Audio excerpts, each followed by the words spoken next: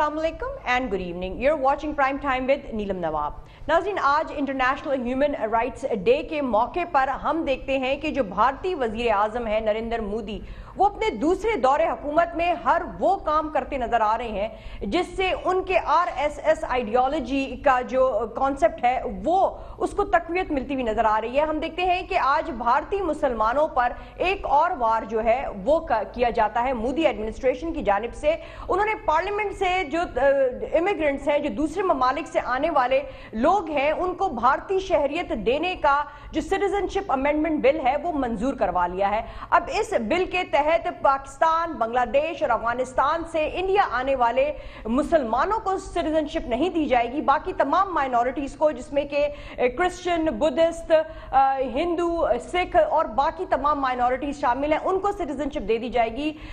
صرف مسلمانوں کو سٹیزنشپ نہیں دی جائے گی۔ وزیر اعظم عمران خان نے بھی انڈیا کے مودی ایڈمنسٹریشن کی اس قدم کی شدید مذمت کرتے ہوئے ٹویٹ میں کہا ہے کہ بھارتی لوک سبھا میں اس بل کی منظوری عالمی انسانی حقوق کے قوانین اور پاکستان بھارت کے درمیان جو دو طرفہ بائی لیٹرل معاہدوں کی خلاف ورزی بھی ہے اور یہ آر ایس ایس کے توسیع پسندانہ عزائم کی ایک کڑی ہے جس کی تکمیل فاشسٹ مودی حکومت کر رہی ہے۔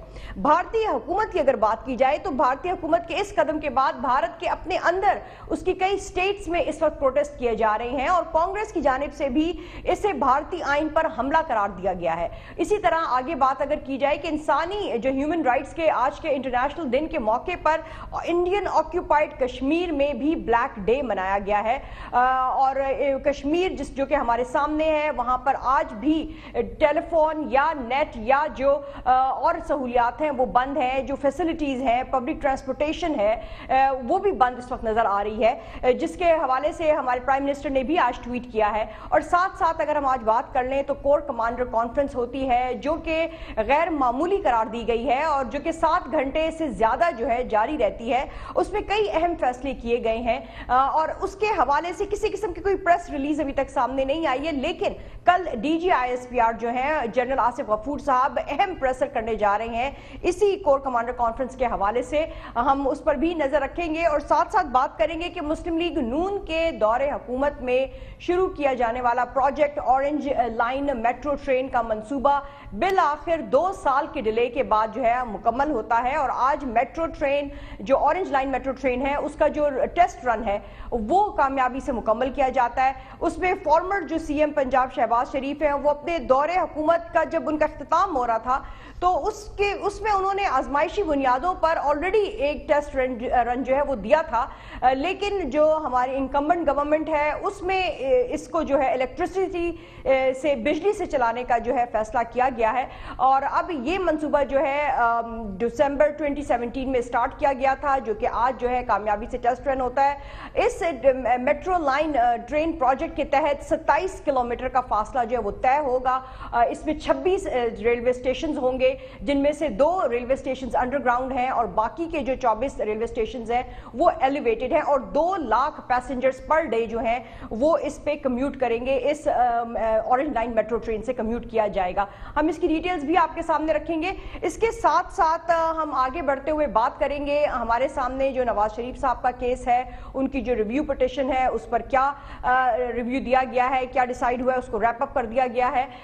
اس کو بھی ہم انڈر ڈسکشن لے کر آئیں گے۔ But before we get started with our discussion here ہم جو ہے اپنے آنریبل پینل کا آپ سے انٹروڈکشن کرواتے چلے ہمیں لاہور اسٹوڈیو سے جوائن کر رہے ہیں جناب سینیٹر شاہین خالد بٹ صاحب، پاکستان مسلم لیگ نواز سے ان کا تعلق ہے۔ ان کے ساتھ تشریف فرما ہیں جناب فیصل حیات خان صاحب ایڈوائزر ٹو سی ایم ہے۔ پاکستان تحریک انصاف سے ان کا تعلق ہے اور ہمیں سکائپ پر جوائن کر رہے ہیں جناب سینیٹر گیان چند صاحب۔ پاکستان پیپلز پارٹی سے ان کا تعلق ہے۔ اور ہمیں کچھ دیر میں جوائن کریں گے جناب افتخار احمد صاحب، سینئر اینالسٹ ہیں۔ السلام علیکم and thank you for joining اس جیسا کہ ہم نے آپ کو بتایا، سب سے پہلے اگر ہم شروعات کر لیں، آج ہم دیکھ رہے ہیں کہ انٹرنیشنل ہیومن رائٹس ڈے جو ہے، وہ منایا جا رہا ہے۔ اگر آپ ہمیں اجازت دیں تو ہم یہاں پر فیصل حیات خان صاحب آپ سے شروعات کر لیتے ہیں۔ سنس پرائم منسٹر جو ہے، وہ ٹویٹ کرتے ہوئے نظر آئے ہیں۔ اور ہم دیکھتے ہیں کہ یہ جو آج انسانی حقوق کا جو انٹرنیشنل دن منایا جا رہا ہے، اس موقع پر دنیا بھر میں جو کشمیری ہیں، وہ یوم سیاہ منا رہے ہیں۔ اور جو آکیوپائڈ کشمیر کی وادی ہے، اس میں بھی اس وقت وقت مکمل شٹر ڈاؤن ہے۔ اگر بھارتی مظالم کا جائزہ لیں تو ہمارے سامنے وہ کہانی ہے اور ایک اندازے کے مطابق اب تک 1989 سے 95,000 اور 470 کشمیریز جو ہیں ان کو قتل کیا جا جا چکا ہے۔ جو انڈین ایٹروسٹیز ہیں آرمی کی وہ ہمارے سامنے ہے وزیر اعظم عمران خان جو ہیں آج کے دن کے حوالے سے ٹویٹ میں اپنے کہہ رہے ہیں کہ عالمی انٹرنیشنل جو قوانین ہیں ان کے رکھوالے اور سلامتی کاؤنسل بھارت کے اس غازبانہ قبضے کا نوٹس لے۔ فیصل حیات خان صاحب، ہمارے پرائم منسٹر نے آج پھر ایک دفعہ اس چیز کو ریوائیو کیا ہے۔ ہم نے ان کو دیکھا تھا کہ U N G A seventy four session میں بھی انہوں نے بڑی بھرپور تقریر کی تھی اور اس میں کشمیر کا ذکر کیا تھا آکیوپائڈ کشمیر کا۔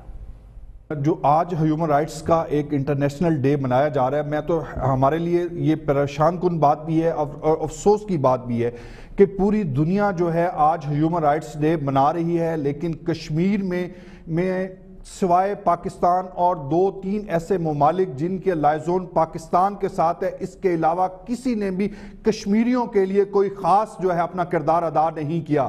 حالانکہ ہونا تو یہ چاہیے تھا کہ آج ہیومن رائٹس ڈے کے حوالے سے سب جو ہے وہ کشمیری بھائیوں کی بات کرتے اور انٹرنیشنلی اس مسئلے کو اجاگر کرنے کی کوشش کی جاتی تاکہ جو عرصہ دراز سے میں سمجھتا ہوں کہ تقریباً چار مہینے سے بھی زیادہ عرصہ گزرنے کے باوجود جو لوگ آج بھی اپنے گھروں میں پابند ہوئے ہیں اور بہت سارے نوجوان جو ہے وہ آج بھی جیلوں میں اس طرح زندگی گزارے ہیں جو کہ انسانی حقوق کے ہر لحاظ سے سے افسوس کی بات ہے۔ تو یہ نہ صرف میرے لیے نہ صرف کسی پاکستانی کے لیے میں سمجھتا ہوں کہ پوری دنیا کے ان لوگوں کے لیے بحث افسوس بات ہے کہ جو کشمیریوں کشمیر میں ہندوستان جو ہے ظلم کر رہے اور جو دوسری آپ نے بات کی آپ کو یہ بات آپ کو کے لیے یہ بات بڑی کلیئر ہے کہ جو پرائم منسٹر ہے آزاد پرائم منسٹر ہے ہندوستان کا وہ ہمیشہ خاص دنوں کے خاص دنوں کے موقع پر جس طرح کہ کرتالپور کا جب کاریڈور کھولا جا رہا تھا تو اس وقت انہوں نے فیصلہ بابری مسجد کے حوالے سے کیا اور جو کہ مسلمانوں کے لیے بہت انتہائی افسوسناک ایک ڈیسیئنس تھا۔ آج ہیومن رائٹس ڈے کے موقع کے حوالے سے انہوں نے جو لیجسلیشن اپنی لوک سبھا میں کی ہے میں سمجھتا ہوں کہ یہ بھی ایک انتہائی افسوسناک ہے اور ان کا جو ایک مکرو چہرہ ہے وہ سامنے آیا ہے کہ وہ نہ صرف صرف اور صرف مسلمانوں کے سخت خلاف ہے اور مسلمانوں کے سخت خلاف ہونے کی وجہ سے ایسے ڈیسیئنز اور لا پاس کروا رہا ہے جو کہ پرٹیکولرلی مسلمانوں کے خلاف ہے۔ ٹھیک۔ فیصل حیات خان صاحب، آپ کا پرسپیکٹیو آ گیا۔ سینیٹر شاہین خالد بٹ صاحب، اب یہاں پر ہم دیکھ رہے ہیں مودی ایڈمنسٹریشن کا جو ایک رویہ نظر آ رہا ہے کہ وہ اسپیسیفکلی خاص دن کو ٹارگٹ کرتے ہیں اور پھر ایک بڑا کوئی قدم جو اٹھاتے ہوئے نظر آتے ہیں۔ جیسے کہ مودی ایڈمنسٹریشن نے ایک بار پھر جو مسلمانوں کے خلاف جو سٹیزنشپ امینڈمنٹ بل ہے اس کی پارلیمنٹ سے منظوری لے لی ہے اور اس کے تحت اب جو افراد جو ہے پاکستان، بنگلہ دیش اور افغانستان سے بھارت آئیں گے۔ اگر وہ مسلمان ہیں تو ان کو انڈین سٹیزنشپ جو ہے وہ نہیں دی جائے گی، اور جو باقی دوسرے مذاہب ہیں، ان سب کو انڈین سٹیزنشپ جو ہے وہ دے دی جائے گی۔ اس منظوری پر اب ہم دیکھ رہے ہیں کہ نہ صرف کانگریس کی جانب سے جو ہے پروٹیسٹ ہوتا ہوا نظر آ رہا ہے، احتجاج کیا جا رہا ہے، بلکہ انڈیا کی اپنی کئی سٹیٹ جو ہیں، اس میں بھی اس وقت شدید مظاہرے ہو رہے ہیں۔ تو یہ آخر مودی ایڈمنسٹریشن اتنے کیلکولیٹو مووز اور اتنے دھڑلے سے دو ٹوک انداز میں کیسے لے پا رہی ہے اور کیوں لے رہی ہے؟ کیا مقصد ہے آگے جا کر؟ دیکھیے نیلم، مودی سرکار کا جو رویہ ہے اور جو ان کے، ان کی جو سوچ ہے مسلمانوں کے بارے میں، خاص طور پہ، میرا خیال ہے یہ کوئی ڈھکی چھپی بات نہیں ہے۔ یہ تو بہت پہلے جب ان کی گجرات میں انہوں نے جو ظلم کیے اور اس کے بعد اس کا تسلسل جب پرائم منسٹر بنے اور انہوں نے اس بات کو کبھی چھپا کے بھی نہیں کیا، بالکل اناؤنس کرتے ہیں اپنی پالیسی اور انہوں نے اس پالیسی جو اناؤنس کی، اس کے عین مطابق مسلمانوں کو آئسولیٹ کیا جا رہا ہے۔ یہ خاص طور پہ جو جو جس بل کی آپ بات کریں سٹیزن شپ جو امیگریشن کا جو انہوں نے نیا قانون پاس کیا ہے، اس کے حوالے سے آپ ذرا سوچئے کہ بہت سی فیملیز جو آزاد کشمیر میں رہتی ہیں، ان کے رشتہ دار مقبوضہ کشمیر میں رہتے ہیں۔ اسی طرح بہت سے مسلمان جو ہندوستان سے یہاں مائگریٹ کر کے آئے، وہ یہاں رہتے ہیں ان کے لنکس ہیں وہاں پہ۔ ان کے ان کے آپس میں رشتہ داریاں پہلے بھی ہیں اور بنتی ہیں، نئی بنتی ہیں، رشتے بنتے ہیں، شادیاں ہوتی ہیں اور اس میں ایک مائگریشن جو ہوتی ہے ایز اے فیملی یہاں سے اس طرف اور اس طرف سے اس طرف ہوتی ہے یہ کہنے کا مطلب یہ ہے کہ انہوں نے کہا ہے کہ پاکستان کے جو مسلمان ہیں، ان کے ساتھ اب آپ کا لنک کمپلیٹلی توڑنا پڑے گا۔ تمام مسلمان جو ہندوستان میں ہیں جو یہ کشمیری ہیں یہ آپس میں ان کی انٹر میرجز جو ہیں اس کو سٹاپ کرنے کا ایک بہانہ ہے۔ جو آلریڈی میرڈ ہو چکے ہیں ان کو ڈس لنک کرنے کے لیے یہ قانون پاس کیا گیا ہے۔ اور خاص طور پہ یہ دیکھیے دیدہ دلیری دیکھیے کہ اس قسم کے بل کو پاس کیا جا رہا ہے کس دن؟ جس دن؟ ایک طرح سے پیغام ہے انڈیا میں جو سیٹل مسلمان ہیں کہ بھئی you are not invited you not wanted here یہ تو ایک طرح سے بڑا دو ٹوک جو ہے پیغام دیا جا رہا ہے جو انڈیا میں مسلمان موجود ہیں. یہاں پر سینیٹر گیان چند صاحب، ہم دیکھتے ہیں کہ جو یہ بل تھا، یہ پہلے بھی ٹوینٹی سکسٹین میں بھی منظوری کے لیے پیش کیا جاتا ہے، لیکن اس وقت بی جے پی کی میجورٹی نہیں تھی ایلائز نہیں تھے ان کے اکثریت میں، جس کی وجہ سے یہ اپروو نہیں ہو سکا تھا۔ اور اب نریندر مودی نے اس بل کی منظوری کے بعد جو ٹویٹ کیا ہے، اس میں لکھا ہے کہ شہریت سے متعلق بل بھارت کی صدیوں پرانی خواہش کا تسلسل ہے۔ جو انسانیت پسندی کا جز ہے۔ تو اب سوال تو یہاں پر یہ اٹھ رہا ہے کہ بھارت اتنی ڈھٹائی سے، جیسا کہ میں نے پہلے بھی کہا کہ ہر وہ قدم کرتا چلا جا رہا ہے، جس سے کہ مسلمانوں کے جذبات جو ہیں وہ مجروح ہو رہے ہیں۔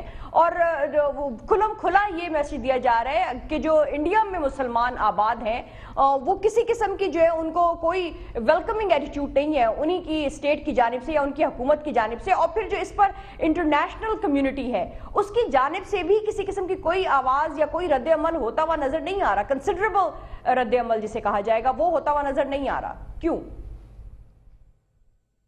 میں سمجھتا ہوں کہ جمہوریتی طور پہ انہوں نے جو پولیٹکس کرنی ہے، اس میں انہوں نے ایک جذبات سے کھیلنے کے لیے وہ ہندوتوا کا نظریہ دیا اور ہندوتوا کے اس انتہا پسندی کو ہوا دے کر مودی جو ہے وہ پاور میں آئے ہیں۔ تو جب وہ انتہا پسندی کے بنیاد پہ آئے ہیں، جب ہم کہتے ہیں کہ وہ آر ایس ایس کے نمائندے ہیں، تو وہ نفرت کا پھیلاؤ ہی کریں گے۔ وہ ہیومن رائٹس کی وائولیشن کی طرف ہی جائیں گے۔ ہیومن رائٹس کو کہاں پہ وہ اوبے کریں گے یا ان کو کہاں پہ عزت رکھیں گے؟ تو مودی کے ہوتے ہوئے اور آر ایس ایس کی گورنمنٹ ہوتے ہوئے انڈیا کی جو سیکولرزم ہے، وہ تو سامنے آ چکا ہے۔ تو اب ان کی سیکولرزم کی کیا حالت ہو چکی ہے؟ اور سیکولرزم باقی نہیں بچا ہے۔ جب آپ مذہب کی بنیاد پہ کسی سے کے ساتھ تفریق کرتے ہیں جب آپ کسی بھی طرح کی تفریق جب کرتے ہیں تو ہیومن رائٹ وائلیٹ ہوتے ہیں۔ ہیومن رائٹس کا یہ مقصد نہیں ہوتا ہے کہ آپ اس کو کسی بھی مذہب کی وجہ سے، کسی کلر کی وجہ سے، کسی بھی اس کی سوچ کی وجہ سے آپ اس کی تفریق کریں۔ تو مودی کے سے کوئی امید نہیں رکھی جاتی، جا سکتی ہے۔ مودی اس خطے میں اب ایک نئی انتہا پسندی کی لہر جو ہے، وہ وہ پیدا کرنا چاہ رہا ہے اور اس کے پیچھے اس کے صرف اور صرف اقتدار میں رہنے کے صرف مسلمز کا مسئلہ نہیں ہے۔ انڈیا میں اگر ٹربولنس کیوں پیدا کی جا رہی ہے مودی ایڈمنسٹریشن کی جانب سے؟ جی۔ آرائٹ لیکن یہاں پر جو ایک اور جی۔ سوال اٹھایا جا رہا ہے کہ یہ ٹربولنس کیوں پیدا کرنا چاہ رہی ہے مودی ایڈمنسٹریشن ہمارے پی ایم کی جانب سے کہا گیا ہے اپنی ٹویٹ میں اس بل کے حوالے سے جو یہ سٹیزن سٹیزنشپ امینڈمنٹ بل ہے کہ یہ تمام قوانین اور انسانی حقوق کی جو ہے یہ پاسداری نہیں کر رہا ہے اور پاکستان بھارت کے درمیان دو طرفہ جو بائی لیٹرل اگریمنٹ ہے یہ اس کی بھی خلاف ورزی ہے اور یہ توسیع پسند آر ایس ایس کے ہندو جو راشٹر ڈیزائن کا حصہ ہیں یہ ان کا جو ہے ان کی طرف سے یہ آئیڈیالوجی ریپرزینٹ کی جا رہی ہے۔ تو ہم تو انڈیا کو جیسے کہ کہا جاتا ہے کہ جی مدر آف ڈیموکریسی ہے، یہ مدر آف ڈیموکریسی کا کیا حال ہوتا نظر آ رہا ہے اس کے اپنے اندر ہی؟ لیکن ڈیموکریسی تو اب وہاں کی ڈیموکریسی کو آپ اس طرح کی ڈیموکریسی کہہ ہی نہیں سکتے۔ وہاں پہ الیکشنز تو ہو رہے ہیں، لیکن لوگوں کے جو کانسٹیٹیوشن ہے، جو اس کا سیکولرزم کا نعرہ تھا اس کو جب تباہ کر کے آپ صرف اور صرف مذہبی جذبات کو ابھار کر، جب جب یہاں پہ انتہا پسندی ہو رہی تھی تو ہم لوگ کہہ رہے تھے کہ انتہا پسندی کو کہیں پہ بھی جگہ نہیں ہے۔ آج انڈیا جو ہے، ایک طرف سے تو ٹیررزم کے گڈورا پیٹ رہا ہے کہ باقی ملکوں کے، پڑوس کے ملکوں سے ٹیررزم آ رہا ہے۔ دوسری طرف خود نفرتوں کے بیچ وہ بو رہے ہیں۔ اس طرح سے صرف مسلمز کو ایکسکلوڈ کر کے کس کس قسم کا میسیج دیا رہا ہے؟ یہ جو برصغیر ہے، اس میں مسلمز اور ہندو صدیوں سے رہ رہے ہیں اور ایک پرامن طریقے سے رہ رہے ہیں انہوں نے کبھی تفریق نہیں رکھی ہے۔ جب سے تفریق پیدا کرنے کی کوشش کی گئی ہے تو یہاں کے حالات بگڑے ہیں۔ انڈیا جس کو کسی حد تک پرومن ملک تھا اس قسم کی یہ جو نفرت کی جو چنگاری ہے یہ انڈیا کو بھی تباہ کر کے رکھ دے گا۔ یہ خطے کے پورے کے لیے جو ہے وہ مسائل پیدا کرے گا۔ مودی کسی قسم کی بھی نہ اس ریجن کی خدمت ہے نہ اس ہندوازم کی خدمت کر رہا ہے یہ صرف اور صرف نفرتیں پھیلا رہا ہے اور یہاں کے لوگوں کے لیے زیادہ مسائل پیدا کر رہا ہے۔ جو جو اس کا نظریہ ہے وہ پہلے ہی ان کے جو مینورٹیز ہیں اس میں خود ہندوازم میں جو لوور کاسٹ ہیں ان کے ساتھ بھی ان کا جو سوچ ہے اس کے مطابق۔ یہ یہ تو آبویسلی انڈیا کے اپنے لیے مودی ایڈمنسٹریشن کے اپنے لیے ایک تھریڈ بھی تیار ہو رہی ہے کہ مائنورٹیز جو ہیں وہ ان سیف فیل کر رہی ہیں۔ تو آبویسلی پھر ریاکشن بھی آئے گا۔ ڈاؤن دا روڈ بہرحال موونگ آن ہم پاکستان کے اگر معاملات کی بات کر لیں انٹرنل تو آج ایک خوش آئند ہم نے جو ہے سٹارٹ اپ ہوتے ہوئے دیکھا ہے، جو کہ ہمارے سامنے اورنج ٹرین میٹرو لائن کا جو ٹیسٹ رن ہے، وہ کامیابی سے کر لیا گیا ہے۔ اس اگر پروجیکٹ کے حوالے سے بات کی جائے تو تقریباً دو سال کے ڈیلے سے آج یہ اورنج میٹرو ٹرین جو ہے، اس کو آزمائشی بنیادوں پر چلایا گیا ہے۔ اور پیسنجرز جو ہیں، وہ اب اس میں سفر کے لیے بھی ان کو مزید تین ماہ کا انتظار کرنا ہوگا۔ اور اس منصوبے پر جو ٹوٹل کاسٹ آتی ہے وہ two sixty four billion rupees جو ہے وہ لگی اب تک اس کے اوپر ٹوٹل کاسٹ اور پبلک ٹرانسپورٹ کا یہ جو ایک بڑا منصوبہ ہے، وہ اب فائنلی ٹیسٹ رن کی سٹیج پر موجود ہے، جو کہ 27 کلومیٹر کا فاصلہ جو ہے اس میں کور کرے گا۔ 26 جو ہے سب وے سٹیشنز اس میں ہوں گے اس 27 کلومیٹر کے فاصلے میں اور دو لاکھ پیسنجر جو ہے وہ پر ڈے اس ٹرین پر کمیوٹ کر سکیں گے۔ اب سوال یہاں پر کافی اٹھائے جا رہے ہیں کہ یہ پروجیکٹ اتنا ضروری تھا تو اس میں جو آنے والے اخراجات تھے، وہ کس طرح سے برداشت کیے گئے ہیں اور پھر کیا حکومت کی جانب سے اس پر سبسڈی دی جائے گی یا اس کا بوجھ ٹوٹل عوام پر ہی آئے گا اور پھر بجلی سے یہ ٹرین چلائی جائے گی؟ اب بجلی سے چلنے والی اس ٹرین پر جو اینول ایکسپینس آ رہا ہے وہ 13 بلین روپیز کے لگ بھگ آ رہا ہے۔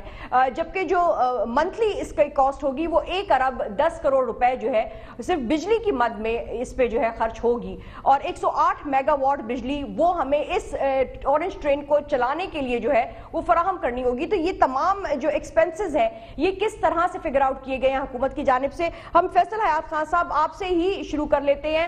آج ہمارے سامنے اورنج لائن میٹرو ٹرین جو ہے، وہ اپنا ٹیسٹ رن کرتی ہے اور وہ ڈیرا گجرا سے علی پور ٹاؤن تک کا جو ٹیسٹ ہے، اس کا کیا گیا ہے۔ اب یہ بتائیے گا، جیسا کہ ہم نے آپ کے سامنے جو سوالات یہاں پر رکھے ہیں کہ اس اورنج ٹرین کے اوپر جو بجلی سے آپ کی حکومت نے چلانے کا فیصلہ کیا ہے، آپ یہ ایک سو آٹھ میگا واٹ اس کو کیسے پرووائڈ کریں گے لیسکو سے، کیا جو عام کامنر یوز ہے، اس کو آپ لے کر اس ٹرین کو چلائیں گے، ڈیڑھ لاکھ گھروں کو ایک سو آٹھ میگا واٹ جو ہے وہ فراہم کر سکتا ہے۔ تو آپ اس کو کیسے ٹرین کو اکوموڈیٹ کر رہے ہیں بجلی سے چلانے کے لیے؟ آج جو اس ٹرین کا باقاعدہ طور پہ افتتاح ہوا، اس ہمارے ٹرانسپورٹ کے وزیر جہاں سے کھچی صاحب نے کیا، اور ہم جو ہیں آج کیونکہ کیبنٹ میٹنگ تھی، میٹنگ کے بعد کچھ اور بھی وزراء اور ایڈوائزرز جو ہے اس ان کے ساتھ تھے۔ تو میں بھی اتفاق سے آج ڈیرہ گجرا سے جو علی ٹاؤن تک یہ ٹرین چلی، اس میں موجود تھا، اور وہاں پہ اس کے بعد ایک باقاعدہ طور پہ تقریب کی گئی۔ اس میں دو تین دو تین گزارشات جو میں سمجھتا ہوں کہ بڑی ضروری ہیں۔ دیکھیں اس منصوبہ جو ہے اس کی ابتدا کوئی شک والی بات نہیں کہ پچھلی حکومت نے اس کی ابتدا کی، نہ صرف ابتدا کی بلکہ سیونٹی پرسنٹ جو کام ہے وہ بھی پچھلی حکومت نے کمپلیٹ کروایا۔ تھرٹی پرسنٹ جو کام ہے جو کہ رہ گیا تھا، اس کو پاکستان طریقہ انصاف کی حکومت نے اس حوالے سے کمپلیٹ کرایا کہ کیونکہ کوئی بھی میگا پروجیکٹ یا کوئی بھی سکیم جو ہے وہ یہ بات درست ہے کہ اس گورنمنٹ کی ایفرٹس کے ایفرٹس کے نتیجے میں وہ مچور ہوتی ہیں۔ لیکن اگر سیونٹی پرسنٹ کسی میگا پروجیکٹ پہ، کسی بھی اسکیم پہ اگر فنڈز یوٹلائز ہو جائیں اور اس کو روک دیا جائے پچھلی حکومت کی طرح، جس طرح کے پرویز لائی کے دور میں جو میگا پروجیکٹس تھے، وہ دس سال گزرنے کے باوجود بھی ان کو پایا تکمیل تک نہیں پہنچایا گیا۔ لیکن پاکستان طریقہ انصاف کی حکومت نے وہ تمام پروجیکٹس جن پہ گورنمنٹ کا خزانہ ٹیکس پیئرز کے کے پیسے لگ چکے تھے، ان کو کمپلیٹ کرنے کی ایز سون ایز پوسیبل کوشش کی گئی ہے۔ اور آج جو ہے، یہ میں سمجھتا ہوں کہ تمام لاہوریوں کو یہ دن جو دیکھا ہے، اس میں پاکستان طریقہ انصاف کی حکومت کا بھی انپٹ جو ہے وہ شامل ہے۔ اور آپ، جو آپ نے بات کی کہ اس پہ کیا گورنمنٹ سبسیڈی دے گی اور کیا سبسیڈی دے گی تو یہ سروائیو کر سکتے ہیں؟ یہ بات درست ہے۔ آج کیونکہ وہاں ان کے اس کمپنی کے چیف ایگزیکٹو اتفاق سے میرے ساتھ بیٹھے تھے تو میں ان سے ڈسکس کرتے کرتا گیا۔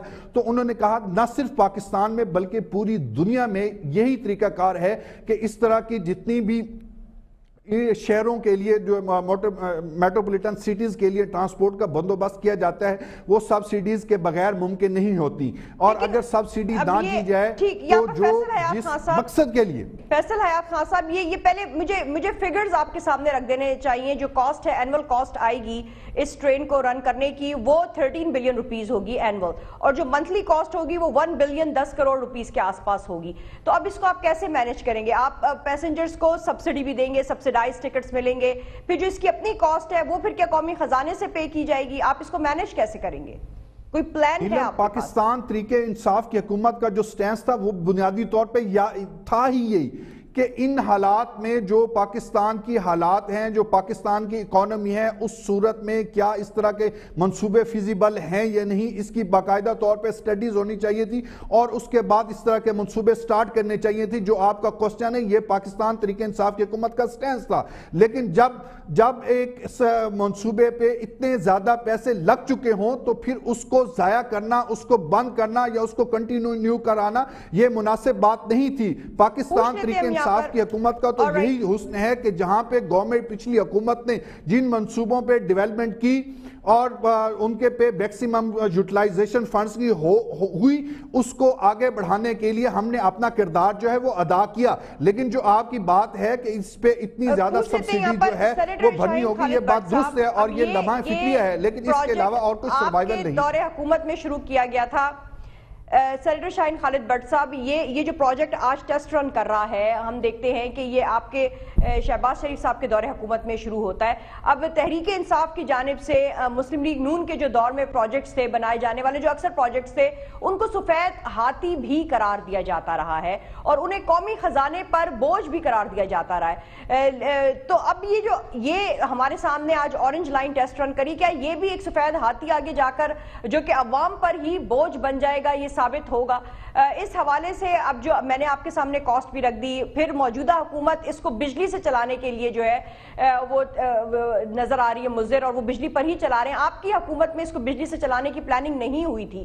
تو آپ کو لگتا ہے کہ یہ زیادہ بیٹر جو ہے آپشن اڈاپٹ کی گئی ہے بجلی پر الیکٹریسٹی پر رن کرنے کے لیے؟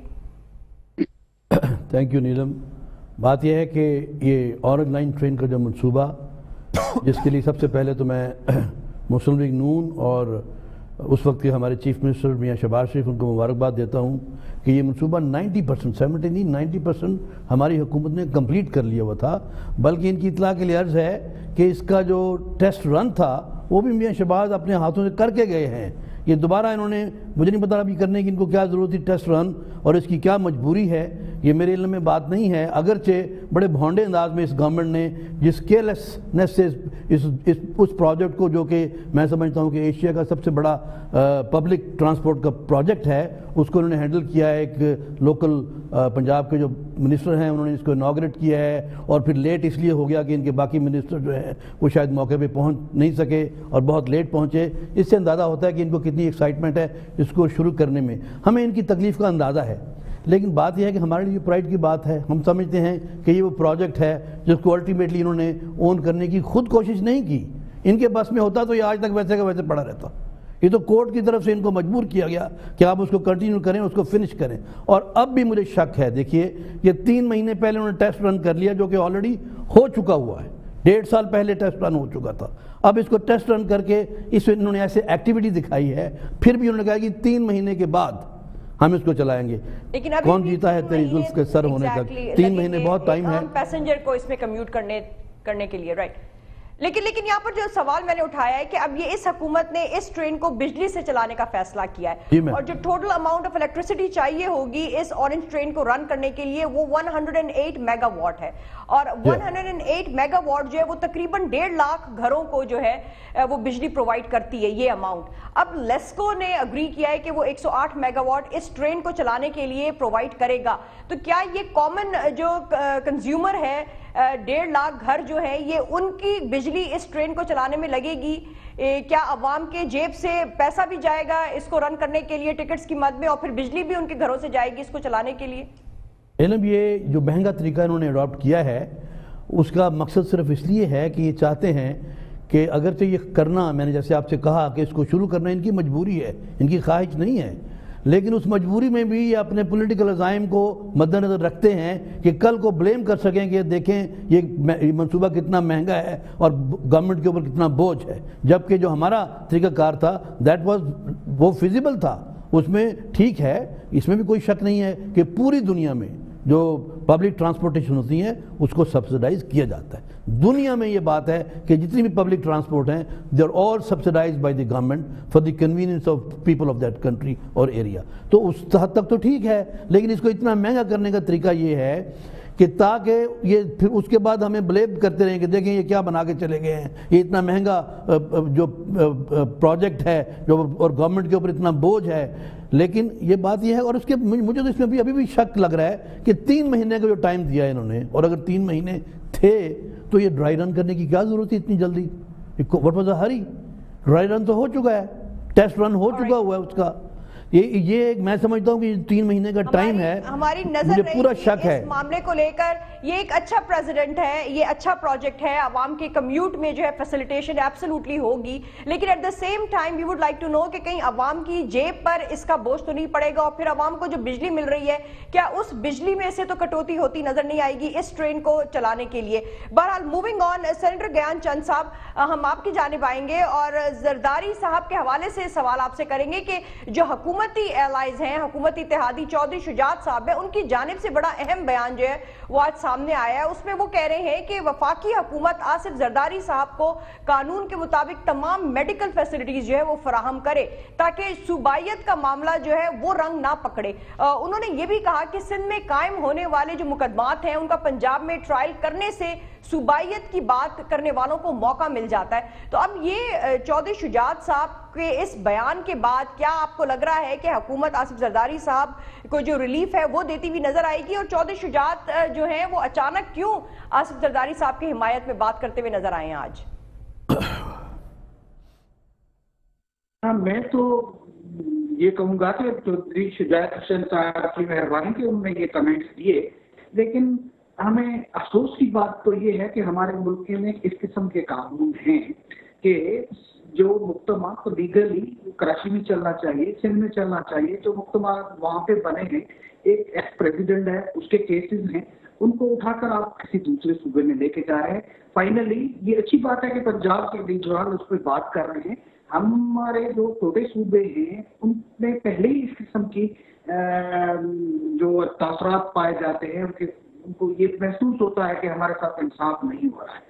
ایک طرف تو میاں صاحب گئے ہیں کہ ہیلتھ کے ایشوز تھے، ہم سب نے سپورٹ کیا کہ ان کو موقع ملنا چاہیے۔ وہ آؤٹ آف کنٹری جب چلے جا سکتے ہیں۔ آصف علی زرداری، خدا خاصا، اس مرحلے تک ملک سے باہر جانے کی کوشش نہیں کر رہے۔ وہ کہہ رہے ہیں کہ میرے مقدمات جو جہاں پہ بنے، کیا کراچی پاکستان کا حصہ نہیں ہے؟ کیا سندھ پاکستان کا حصہ نہیں ہے؟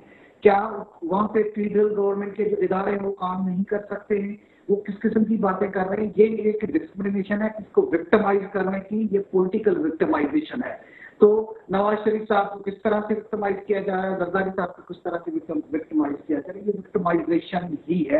اور چودھری شجاج نے بالکل صحیح کہا کہ یہ کوئی فیڈریشن کو اچھا میسج نہیں جا رہا ہے۔ ہم ڈاکٹر تک جو اپنا فیملی ڈاکٹر اس تک پہنچ جو وہ دی نہیں جا رہی تھی۔ میڈیکل بورڈ ان کو کہہ رہے تھے ہاسپٹلائز کیا جائے، اس کو ہاسپٹلائزیشن کی ضرورت ہے، وہ نہیں دی جا رہی تھی۔ ہم کہہ رہے تھے کہ مقدمات سندھ کے بنے ہوئے ہیں، وہاں پہ وہاں پہ چلنا چاہیے، وہیں پہ چلنے نہیں دیا جا رہا تھا۔ ان ایشوز کے لیے جو لیگل ہمارا رائٹ ہے، ہمیں کورٹوں میں جانا پڑتا ہے۔ پھر چودھری شجاعت جیسے لیڈران کو اسٹیٹمنٹس دینی پڑتی ہے۔ پھر بھی اگر ہمارے ملک کی اشرافیہ کے آنکھیں نہیں کھلتی ہے تو یہ کوئی ملک کی خدمت نہیں کر رہے یہ پھیلا رہے ہیں اور فیڈریشن کو کمزور کر رہے ہیں۔ ہم تو یہی سمجھتے ہیں۔ آصف علی زرداری پہلے دن سے کہا کہ میں سامان تو نہیں لوں گا۔ پھر پھر دوبارہ ان کو جی۔ آنا پڑا کہ دیکھی کہ فورس کے کوئی ریلیف ملتا ہے ہم لے سکتے ہیں گورنمنٹ سے نہیں لیں گے۔ تو یہ پی ٹی آئی کی گورنمنٹ ہے اس کو سمجھ میں نہیں آ رہا ہے۔ ابھی جو آپ ٹرین کا ذکر کر رہے تھے اس میں کیا ایشوز ہے ہاں یہ یہ چیز کیا سمجھ میں نہیں آ رہا؟ اور کیوں سمجھ میں نہیں آ رہا؟ یہاں پر فیصل حیات خان صاحب فیصل حیات خان صاحب یہ ہم آج دیکھتے ہیں کہ چودھری شجاعت کہتے ہیں کہ جو سندھ میں قائم ہوئے مقدمات، ان کا پنجاب میں ٹرائل کرنے سے جو صوبائیت کا تاثر ہے، وہ اس کی بات کرنے والوں کو موقع مل جاتا ہے۔ تو یہ اچانک سے چودھری شجاعت صاحب کو جو ہے، کیسے یاد آ گئی آصف زرداری صاحب کی؟ بیکاز پیپلز پارٹی تو یہ معاملہ کب سے اور یہی بات کرے جا رہی ہے کہ جو سندھ کے معاملات ہیں، وہ سندھ میں ہی حل ہونے چاہیے اور زرداری صاحب کو اجازت دینی چاہیے کہ وہ وہاں جا کر اپنے جو کورٹس کی پروسیڈنگز ہیں، ان کو اٹینڈ کریں تو یہ آج اچانک چودھری شجاعت صاحب کو کیسے زرداری صاحب کی یاد آ گئی؟ دیکھیں چوری شجاعت حسین صاحب ایک سینئر پولیٹیشن ہیں اور وہ تمام جماعتوں کے لیے میں سمجھتا ہوں کہ ریسپیکٹیبل ہے اور تمام جماعتیں ان کی ریسپیکٹ بھی کرتی ہیں اور چوری شجاعت صاحب جو ہے وہ بعض اوقات وہ بات کرتے ہیں جس بات کی میں سمجھتا ہوں کہ اس وقت ضرورت ہوتی ہے۔ جو بات زرداری صاحب کے ٹریٹمنٹ کے حوالے سے آپ نے بات کی گورنمنٹ جو ہے، وہ زرداری صاحب کے ٹریٹمنٹ کے حوالے سے جو بیسٹ پوسیبلیٹی ہے، وہ آلریڈی انہیں دے رہی ہے۔ اور میں سمجھتا ہوں، دینی چاہیے، یہ گورنمنٹ کی رسپانسبلیٹی ہے اور گورنمنٹ کی ذمہ داری ہے۔ اور جہاں تک آپ کیسز کی آپ نے بات کی، تو اس میں میں سمجھتا ہوں کہ گورنمنٹ کا تو کوئی خاص رول نہیں، یہ تو انسٹیٹیوشنز کا ہے۔ نیب نے نے بائی ریکویسٹ جو ہے جو انسٹیٹیوشنز ہیں، انہوں نے خود مقدمات ادھر شفٹ کیے ہیں۔ اس سے گورنمنٹ کا تو خاص کوئی نہ تو کردار ہے اور نہ ہی کردار میں سمجھتا ہوں کہ ہونا چاہیے۔ ہاں البتہ یہ بات درست ہے کہ پاکستان طریقے انصاف کی حکومت نے اداروں کو مضبوط کیا ہے، اداروں کو مستحکم کرنے کی بات کیا ہے، اداروں کو کو سیاسی انفلنس کو مینیمائز کرنے کی بات کیا یہ بات درست ہے۔ ادارے مضبوط ہوں گے تو میں سمجھتا ہوں کہ بہتر انداز سے کام کر سکیں گے، لیکن اگر آپ کہیں کہ اداروں میں گورنمنٹ کا کوئی انفلنس ہے تو وہ بات بالکل اس کا حقائق کے ساتھ کوئی تعلق نہیں۔ اور یہاں پر سینٹر شاہین خالد بٹ صاحب، آج ہم دیکھتے ہیں کہ جب نیشنل اسمبلی کا سیشن ہوتا ہے تو اس میں شاید خاکان عباسی صاحب جو ہیں وہ بھی شرکت کرتے ہیں اور پھر وہ نیشنل اسمبلی میں پروڈکشن آرڈر کے حوالے سے سپیکر سے خطاب کرتے ہوئے کہتے ہیں کہ اگر آپ پر دباؤ ہے تو ہمیں بتا دیں ہم نہیں آئیں گے۔ اور پھر رانا ثناء اللہ کو بھی پارلیمنٹ میں آنے سے روکا جا رہا ہے۔ وہ واک آؤٹ بھی کر جاتے ہیں، وہ احتجاجن جو ہے وہ چھوڑ کے چلے بھی جاتے ہیں۔ تو اب سوالات یہاں پر یہ پیدا ہو رہے ہیں کہ جب سپیکر کی جانب سے پروڈکشن آرڈرز جو ہیں ایشو کر دیے گئے ہیں تو پھر امپلیمنٹیشن کیوں نہیں ہو رہی؟ اس کے باوجود بھی وہ ممبر جو ہیں وہ ایوان میں نہیں آ رہے ہیں، تو اس کی کیا وجہ سمجھی جائے؟ نہیں، دیکھیے، یہ ان کا پروٹیسٹ جو ہے بڑا جائز اس لیے ہے کہ یہ تو ایسا نہیں ہے کہ جب سپیکر صاحب کو پیچھے سے اجازت مل جائے تو وہ پروڈکشن آرڈر جاری کر دیں اور جب اجازت نہ ملے تو بالکل انکار کر دیں۔ یہ تو ہر پارلیمنٹیرین کا ایک لیگل حق ہے، اس کا قانونی حق ہے۔ اور اس کو کیوں نہ وہاں پارلیمنٹ میں آنے دیا جائے؟ یا تو ایسے یا تو ایسے کرنا قانونی طور پہ غلط ہو، پھر تو بات درست ہے۔ یہ کسی کی ڈسکشن کی بات نہیں ہے۔ یہ ہر پارلیمنٹیرین کا حق ہے۔ اس لیے ان کو یہ حق ملنا چاہیے۔ یہ پروٹیسٹ انہوں نے اس لیے کیا ہے کہ بات ان کے اکیلے کی نہیں ہے۔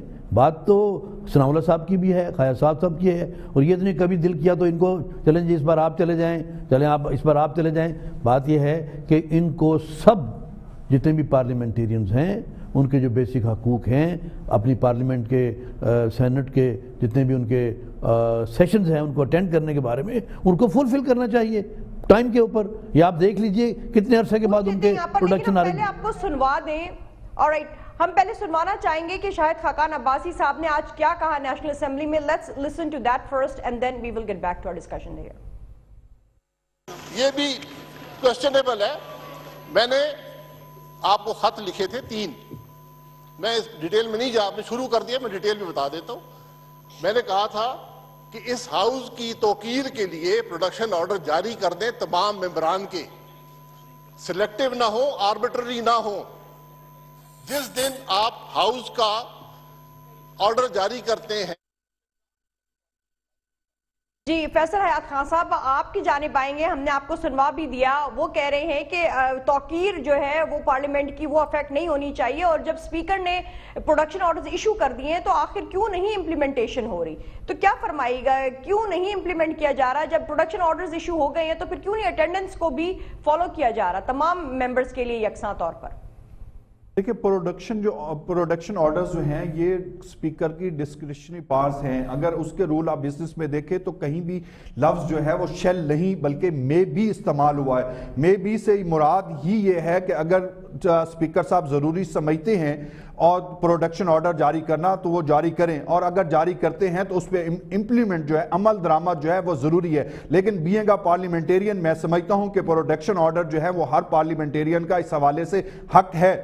اور ہونا چاہیے لیکن لیکن اگر آپ اس میں کہیں کہ قانونی طور پہ یہ ضروری ہے، یہ کمپلسری ہے، یہ تو یہ بات درست نہیں۔ لیکن میں سمجھتا ہوں آپ کے پروڈکشن آرڈرز کے حوالے سے آپ پاکستان طریقے انصاف کی حکومت نے نیشنل اسمبلی اور باقی تینوں اسمبلیز میں پروڈکشن آرڈرز جو تھے، وہ آلریڈی اس کی لیجسلیشن کہیں یہ رول آف بزنس میں موجود تھے۔ لیکن وحد پنجاب اسمبلی تھی، جس میں موجود نہیں تھے۔ پاکستان طریقے انصاف کی حکومت نے رول آف بزنس میں یہاں پہ ترمیم کی اور پروڈکشن آرڈر جو ہیں وہ رول آف بزنس میں ڈالے۔ تو اس سے یہ بات ظہر ہوتی ہے کہ پاکستان طریقے انصاف کی حکومت جو ہے وہ پروٹیکشن آرڈرز کو پریفر کرتی ہے اور تو تاکہ پارلیمنٹیرینز جو ہے کمفرٹیبلی آ کے اپنا سیشن اٹینڈ کر سکیں اور اپنا پوائنٹ آف ویو جو کہ پبلک کے نمائندے ہیں وہ پارلیمنٹ میں آ کے دے سکیں۔ ایک بات کہنے دیجیے کہ پروڈکشن آرڈر جاری ہونے کے بعد امپلیمنٹیشن تو گورنمنٹ نے کرنی ہے نا۔ امپلیمنٹیشن تو ہونی چاہیے۔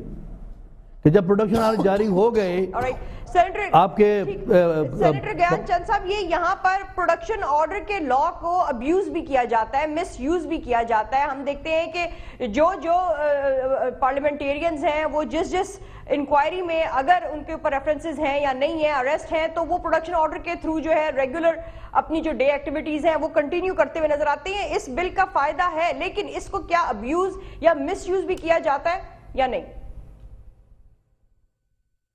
کا ایشو نہیں ہے۔ پارلیمنٹ کا ایک ممبر ہے، وہ اکیوزڈ ہے۔ اس پہ کوئی وہ ملزم ہے، اس کو رائٹس ہے کہ وہ پارلیمنٹ کے اندر آئے۔ جب تک پارلیمنٹ سیشن ہے، تب تک ان کو وہاں تک ایکسیس ملنا چاہیے۔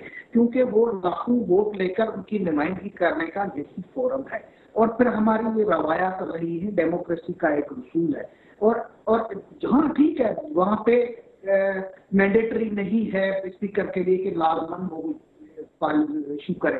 لیکن یہ بھی تو نہیں ہے نا کہ آپ سلیکٹولی کریں، کبھی کس کا کرتے ہیں، کبھی کس کا کرتے ہیں، جس کا دل چاہے پورا لائیں جس کا دل نہ چاہے تو نہ لائیں اس قسم کی جو جو پریکٹس پی ٹی آئی نے شروع کیا، یہ غلط کیا۔ اگر پنجاب اسمبلی نے نے رول آف بزنس میں چینجز کیے تو اچھی بات ہے۔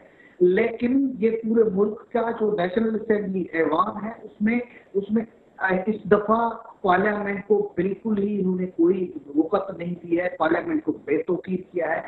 سینیٹ کا سیشن کم از کم دو ڈھائی مہینے سے کبھی سیشن نہیں کال لیکن گیان چند صاحب یہ جب ہم اس اس لا کے ابیوز کی یا مس یوز کی بات کرتے ہیں اب جیسے شاہد خاکان عباسی صاحب کو دیا گیا پروڈکشن آرڈر کے تحت ان کو لایا گیا نیشنل اسمبلی میں وہ بجائے اس کے کہ پبلک ایشوز پر آ کر بات کریں، اس ٹائم کو جو ہے پبلک ایشوز کی ڈسکشن میں انویسٹ کریں۔ وہ اپنا کیس یا اپنے کسی ساتھ والے پارلیمنٹیرین کا کیس پر جو ہے ٹائم ویسٹ کرتے ہیں واک آؤٹ کر جاتے ہیں۔ تو پھر اس پروڈکشن آرڈر کے تھرو آنے والے جو پارلیمنٹیرینز ہیں، وہ پھر اپنے کیس کو تو آ کر پروسیکیوٹ نہ کریں اسمبلی میں۔ اسمبلی کا ٹائم جو ہے اپنے کیس کی پروسیکیوشن کے لیے استعمال کرنا پروڈکشن آرڈر کے تھرو یہ بھی تو پھر غلط ہی سمجھا جائے گا۔ جب آپ پارلیمنٹ کے اندر ایک پارلیمنٹ کے پروڈکشن آرڈر پہ نہ لانے کی بات کرتے ہیں اس کے لیے احتیاط کرتے ہیں تو یوں سمجھو کہ اس کے جو لاکھوں ووٹرس ہیں ان کا رائٹ ہے ان کی نمائندگی ہونی چاہیے اس کے لیے آپ پروٹیکٹ کر رہے ہیں۔ پھر ڈیموکریٹک ایٹیٹیوڈس کی ہیں۔ یہ نیشنل اسمبلی ہمارا پارلیمنٹ سے باہر جا کے کر لیں تاکہ پارلیمنٹ کا ٹائم ضائع نہ ہو جو کہ لیجسلیشن میں جو انویسٹ ہو سکتا ہے۔ اور میں کوئکلی کوئکلی یہاں پر فیصل حیات خان صاحب ہم آپ کی جانب آئیں گے۔ آج کی جو ایک اور آپ مکمل کر لیجیے گا صاحب مجھے آواز آپ کی کلیئر نہیں آ پا رہی ہے۔ جی فیصل حیات خان صاحب، ہم آپ کی جانب آتے ہیں۔ ہمارا رابطہ ڈسکنیکٹ ہو گیا گیان چند صاحب کے سے۔ ہم آج کیبنٹ سیشن کی اگر بات کر لیں تو سورسز کے تھرو جو اطلاعات آ رہی ہیں، اس پہ بتایا جا رہا ہے کہ کیبنٹ سیشن میں جو میجورٹی آف منسٹرز تھے، انہوں نے مریم نواز صاحبہ کے باہر ملک جانے کی جو انہوں نے اجازت دینے کا ایشو ہے، اس کی مخالفت کر دی۔ اور وہ کہہ رہے ہیں کہ مریم نواز کا نام کسی صورت ای سی ایل سے نہیں نکالا جائے۔ تو اب اگر حکومت مریم نواز کا نام ای سی ایل سے نہیں نکالتی ہے، تو پھر حملہ واپس کورٹس میں ہی جاتا ہوا نظر آئے گا۔ کورٹ سے تو کہا ہے کہ آپ لوگ آپس میں اس چیز کو ریزولو کریں اور آپ کو سات دن کا ٹائم بھی دیا تھا۔ تو اب کیا عدالت ہی اس چیز کا فیصلہ بھی کرے گی؟ لیکن بڑی ضروری بات میں پروڈکشن آرڈر کے حوالے سے کر کے واپس آتا ہوں۔ آپ نے بالکل درست بات کی کہ پارلیمنٹیرینز کا کام لیجسلیشن کرنا ہے۔ میں اگر اپوزیشن لیڈر کی جو پروڈکشن آرڈر لاسٹ سیشن میں انہیں دیا گیا تھا اور وہ جب لیجسلیشن کی بات ہوتی تھی تو وہ واک آؤٹ کر کے چلے جاتے تھے۔ تو یہاں پہ یہ بات درست ہے کہ پروڈکشن آرڈر جو ہے وہ مس یوز بھی ہوتا رہا ہے۔ جو آپ نے دوسری بات کی، مریم نواز کے حوالے سے، تو دیکھیں، پاکستان طریقے انصاف میں جو فیصلے ہیں وہ فرد وحد نہیں کرتا۔ یقین کریں میں صوبے کی کیبنٹ کا ممبر ہوں اور مرکز کا بھی سنتا رہتا ہوں، تو یہاں پہ فیصلے جو ہیں وہ کیبنٹ میں آ کے باقاعدہ طور پر ڈسکس ہوتے ہیں اور ڈسکشن کے بعد ڈیسیزنز ہوتے ہیں۔ اور کیبنٹ میں آج یہ بات درست ہے کہ بہت زیادہ جو کیبنٹ ممبر تھے، انہوں نے اس بات پہ فوکس کیا کہ مریم نواز کو جو ہے وہ جو اسی ایل میں اس کا نام نہیں نکالنا چاہیے۔ جن کا نام نکالا گیا ہے، وہ لندن میں جا کے علاج کے نام پہ جو کچھ کر رہے ہیں، وہ وہاں پہ جا کے جو کچھ کر رہے ہیں، وہ آپ کے سامنے ہیں۔ تو اس سے یہ بات آج کیبنٹ میں یہ ڈیسائیڈ ہوا ہے کہ مریم نواز کا اسی ایل میں نام نہیں نکلنا چاہیے۔ یہ تاکہ جو ہے اگر کورٹ میں جاتے ہیں تو کورٹ کا جو ڈسیزن ہے وہ یقیناً گورنمنٹ نے اس کو امپلیمنٹ کرنا ہے۔ لیکن بذات خود گورنمنٹ میں نہیں سمجھتا کہ ان کو اسی ایل میں اس کا نام نکالنا چاہیے اور وہ باہر جا سکے۔ لیکن لیکن اگر کورٹس مریم نواز کے حق میں فیصلہ دے دیتے ہیں تو پھر کیا حکومت اس فیصلے کو قبول کرے گی؟ پھر تو، پھر حکومت کے پاس کیا آپشن ہوگی؟ دیکھیں، پاکستان طریقہ انصاف کی حکومت نے تو عدالتوں کے ہر فیصلے کو تسلیم سر خم کیا ہے اور اور اس پہ عمل درامد کروایا ہے۔ اگر جو کورٹ ہے، یہ ڈیسیزنز دیتی ہے کہ مریم نواز کا جو نام ہے ای سی ایل میں نکال دیا جائے تو ڈیفینیٹلی گورنمنٹ نکالنے کی پابند ہوگی۔ لیکن ای سی ایل میں نام نکالنا جو ہے، وہ میں سمجھتا ہوں کہ گورنمنٹ کے کہ وہ پرٹیکولرلی جو ہے وہ گورنمنٹ کے اسائنمنٹ ہے اور اس پر لیٹ سی کہ کیا فیصلہ آتا ہے۔ اگر کورٹ اس کا اس طرح کا کوئی ڈیسیجن دیتی ہے تو گورنمنٹ یقیناً اس پہ عمل درآمد یہاں پر ٹھیک سینیٹر شاہین خالد بٹ صاحب اب یہ مریم نواز صاحبہ کا جو معاملہ ہے ہم دیکھ رہے ہیں نواز شریف صاحب جا چکے ہیں شہباز شریف صاحب جا چکے ہیں۔ اب مریم نواز صاحبہ کا معاملہ سامنے آ رہا ہے۔ ایک تو یہ سوال اٹھایا گیا ہم نے کل بھی کیا کہ اتنا ڈیلے کیوں کیا گیا؟ اور پھر اب جبکہ نواز شریف صاحب کے آنے میں چار چار ہفتے رہ گئے ہیں تو وہ چھ ہفتے مانگ رہی ہیں پرمیشن جانے کے لیے، تو اب یہ، کیا نون لیگ جو ہے، وہ ساری اس کی جو قیادت ہے، وہ لنڈن شفٹ ہو رہی ہے اور کیا وہیں سے اب جو اہم فیصلے سامنے آیا کریں گے؟ ابھی ریسنٹلی آپ کا ڈیلیگیشن گیا تھا نون لیگ کا، جو کہ معاملات جو ہے، وہ وہاں طے کرنے کے لیے۔ خواجہ آصف صاحب کل بڑے اگریسو نظر آئے تھے واپسی، واپس آنے کے بعد۔ آپ درست کہہ رہی ہیں۔ مجھے سمجھ نہیں آ رہی کہ میرے فاضل دوست اور اور بھی جو منسٹرز ہیں، ان کو یہ بڑا اعتراض ہے کہ دیکھیں نہیں وہ دیکھیں وہاں پہ جا کے کیا کر رہے ہیں۔ کیا کر رہے ہیں؟ کہ وہ ان کا دم گھٹ جائے، اپنے بند کر کے ٹائی اپ کر لیں، اپنے آپ کو کمرے میں بند کرے کچھ بھی ایسی حرکت نہیں کر رہے جو ایک انسان کو، ایک پالیٹیشین کو زندہ رہنے کا ایک حق ہے۔ آپس میں باتیں کرنی ہے کمیونیکیشن کرنی ہے۔ کچھ بڑے میجر ڈیسیجن لینے ہیں۔ اس لیے انہوں نے اپنے اپنے دوستوں کو، اپنے کولیگز کو وہاں بلایا ہے۔ اس پہ کیوں، کون سی ایسی بات ہے جو جو ناپسند ہے گورنمنٹ کو؟ اور یہ کون سی پابندی لگانا چاہتے ہیں؟ دے دیتے ان کو چارٹر ایک پورا کہ آپ نے کون کون سی روڈ سے گزرنا ہے اور کون سی روڈ سے آپ نے نہیں گزرنا۔ کون سے ریسٹورنٹ میں آپ جا سکتے ہیں اور کون سے میں نہیں جا سکتے؟ یہ کوئی طریقہ ہے بات کرنے کا؟ جہاں تک مریم کا تعلق ہے، دیکھیے، ان کو کنسیڈر کیا جا رہا ہے اس لیے کہ ان کے والد بہت سخت بیمار ہیں۔ اور ان کا حق ہے کہ جا کے ان کی تیمارداری کریں۔ تو یہاں تک ٹائم کی بات ہے، ٹھیک بات آپ کہہ رہی ہیں کہ چار ویک کے لیے کہا تھا انہوں نے۔ لیکن یہ چار ویک رہ گئے ہیں۔ گزارش یہ ہے کہ یہ تو ڈیپینڈ کرتا ہے کہ ان کی ٹریٹمنٹ کس پوائنٹ پہ پہنچی ہے اور کیا ان کو اور وہاں رہنے کی ضرورت ہے یا نہیں۔ یہ پارٹ آف ججمنٹ ہے کہ وہ آپ سبمٹ کریں گے کہ آپ کی جو ابھی تک کی جو ٹریٹمنٹ ہے وہ کہاں تک پہنچی ہے اور کتنے ٹائم آپ کو اور چاہیے۔ ان کا ٹریٹمنٹ کے لیے گئے ہیں، وہ ٹائم سپینڈ کرنے نہیں گئے کہ انہوں نے صرف چار ہفتے یا چھ ہفتے گزار کے واپس آ جانا ہے۔ تو میرا خیال ہے کہ مریم کو یہ اجازت دے دیں گے تو اچھی بات ہے ان کے کریڈٹ میں بات جائے گی۔ چند صاحب آپ کی جانب لے آتے ہیں۔ ٹھیک، یہاں پر گیان چند صاحب کوئکلی آج جو کیبنٹ کا سیشن ہوا ہے، اس میں جو ہائی لائٹ سامنے آئے ہیں، اس میں بتایا گیا وزیر اعظم صاحب کو ان کی ٹیم کی جانب سے کہ جو سرکولر ڈیٹ ہے، وہ 12 بلین روپیز پر آ چکا ہے، کافی ڈکلائن ہوا ہے۔ اور پھر ان کو یہ بھی بتایا گیا کہ جو 300 یونٹ سے کم بجلی استعمال کرنے والے صارفین ہیں، ان کو تقریباً 240 بلین پلس کی جو ہے سبسڈی دی جا رہی ہے۔ تو اب ساتھ ساتھ یہ بھی آج کہا گیا ہے کہ یہ جو بجلی کی قیمتوں میں اضافے ہیں، اس کا جو تعین، اس کو جو کرنا پڑتا ہے ڈٹرمن اس کا جو طریقہ کار ہے، تبدیل کرنے کی جو ہے، اس کو ہدایت دی گئی ہے۔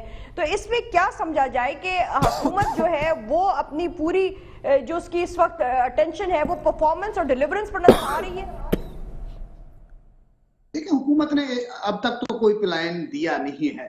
تو سرکولر ڈیبٹ کی کبھی بات کرتے ہیں، کبھی سرکولر کرنٹ اکاؤنٹ ڈیفیسٹ کی بات کرتے ہیں، کبھی کیا کرتے ہیں، کبھی کیا کرتے ہیں۔ لیکن یہاں کے جو حالات ہیں، ان پہ آپ کو بھی پتا ہے کہ مہنگائی کہاں پہ پہنچی ہوئی ہے۔ پھر انہوں نے ڈالر کے ریٹ جو ہے، وہ کس طرح سے بڑھ چکا ہے، روپے کی ویلیو کس طرح سے گر چکی ہے۔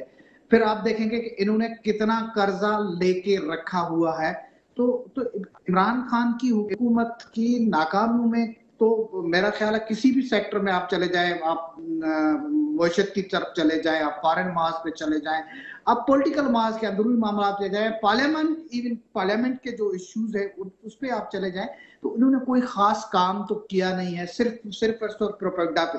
ابھی بھی مریم نواز کے اس کے بیل اور باہر جانے پہ وہ ایشو بنا کے رکھا ہوا ہے۔ پوری فیملی تو چلی گئی ہے باقی ایک مریم نواز ان کو اگر کورٹ اجازت دے دے گی جی بہت بہت شکریہ گیان چند صاحب آپ کا فیصل حیات خان آپ کا اور شاہین خالد بٹ صاحب آپ کا ہمیں جوائن کرنے کے لیے۔ ناظر انفارچونیٹلی ہمارے شو کا ٹائم جو ہے وہ بالکل ختم ہو گیا ہے۔ بٹ ہماری نظر رہے گی کہ کل جو D G I S P R صاحب پریسر کرنے جا رہے ہیں آج کی ہونے والی کور کمانڈر کانفرنس پر اس کے حوالے سے کیا انفولڈ ہوتی ہیں ڈیٹیلز وہ ہم آپ کے سامنے لے کر آئیں گے۔ آج کے لیے اتنا ہی see all tomorrow night until then اپنا اور اپنے پاکستان کا بہت خیال رکھیے گا۔ اللہ حافظ اینڈ گڈ نائٹ